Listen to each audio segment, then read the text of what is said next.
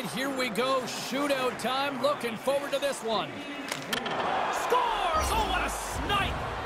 Didn't have much room. It looked like the goalie was in pretty good shape. But this one's in the back of the net.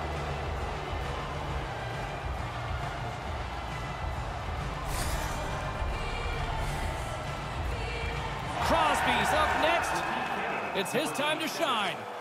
Effective use of the paddle on that one.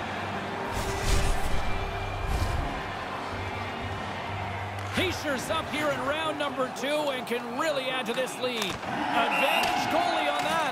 Yeah, there's no dice. I, I got a good view of it, and there's just nowhere to shoot the puck. Here we go, back half of round number two. They could use a little cheddar on this one. And he buries it for the goal! I really like how he made this look like he was going to deke, but he doesn't. He stays with the shot, and he capitalizes.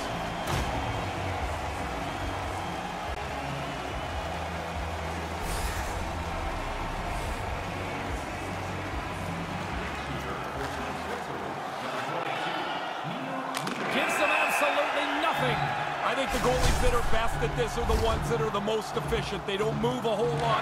They just really play their position solidly. Absolutely nothing doing on that. Sometimes you make a move, sometimes you choose to shoot, and there's just nothing there.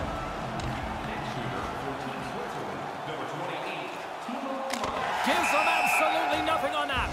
It's amazing how many points are alive in a season. The goalie has to be good if you're going to collect some of them.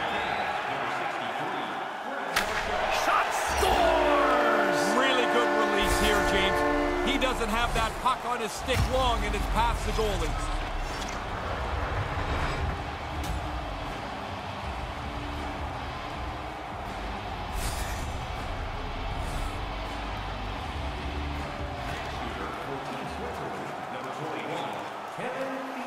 He makes it look easy on the play.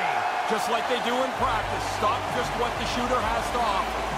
And that puts a bow on this one. It needed a shootout. I know traditionalists and purists don't like the shootout, but man, they're entertaining.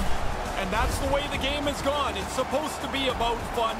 They're able to lock this down in the shootout. It's a big win for them.